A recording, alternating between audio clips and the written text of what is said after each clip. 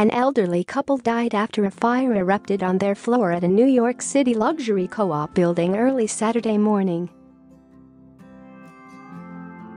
Authorities said the fire started at about 5 a.m. Saturday on the ninth floor at the River House, an East Side co-op famous for having housed celebs including Uma Thurman and Henry Kissinger and allegedly rejecting Diane Keaton, Richard Nixon and Joan Crawford among others. Video captured of the fire reveals flames lighting up the night sky as they burst from two windows, ABC privacy policy.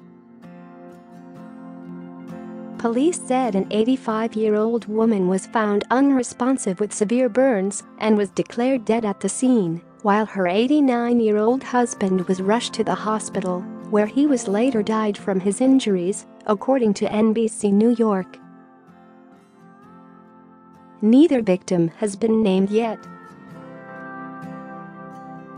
The fire was said to have filled the couple's dozen or so rooms with smoke but been contained within the apartment's walls. You have a fire on the upper floor and a building off the river, and the windows are already out, so you have plenty of wind and they're adding fuel to the fire, FDNY Deputy Chief James Coyne said, while describing the blaze, according to ABC7. Share this article. Share. Authorities are investigating the cause of the fire at the Art Deco building.